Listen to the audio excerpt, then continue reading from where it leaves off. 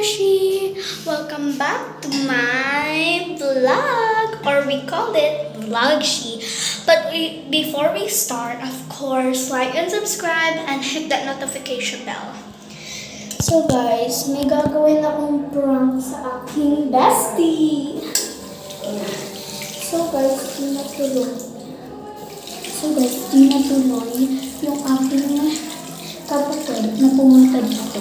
Kaya hindi na ako nag-vlog. Oh my goodness! Hindi siya natuloy guys, kaya di na ako nag-vlog. Kasi nalulungkot ako. Kanina pa naman ako naghihintay tapos naglinis pa ako ng kwarto. Pero kasi may ano daw siya sinat kaya di sila makakapunta pero let's prank our bestie himatay prank let's go nandun siya sa office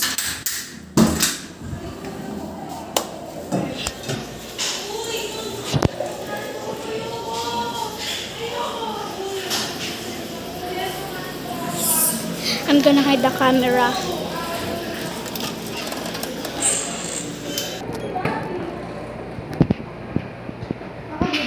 Hindi. Bakit ako mag-video? Manonood lang ng Netflix.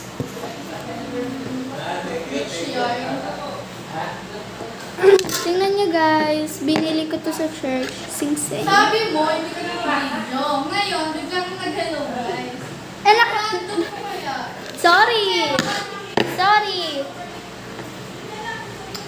Hi guys! Edi hi guys!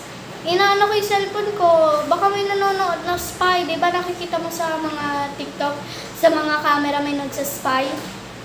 Tapos meron pa siya mga co-worker, kaya sabi ko, Hi guys! Random. Sorry na.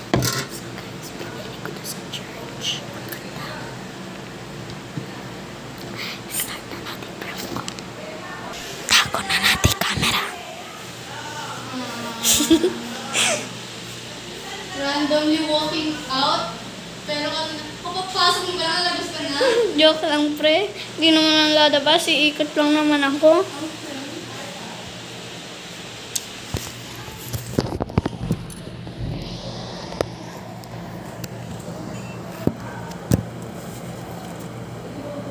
Ginagawa mo pre.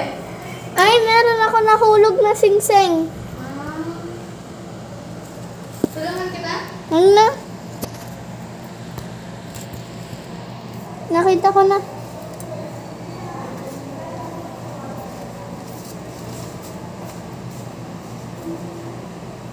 Wala nahihilo ako. Ano po gamot? Wala. Gamot. Wala akong gamot. Nahihila ko ako lumakad ngayon. Eh, gusto ko nga eh. Nahihilo ka, tapos lalakad, gusto mo lumakad. ano yun? wala. Ang random mo. Sorry, pre, pero nahihikot talaga ako. Upo ka! Ayun na, naglaglag mo. Girl.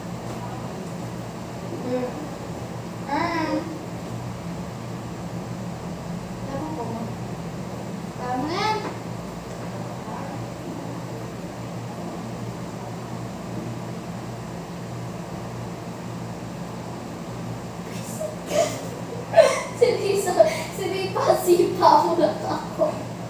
Sinip, naka-vlog ako, oh.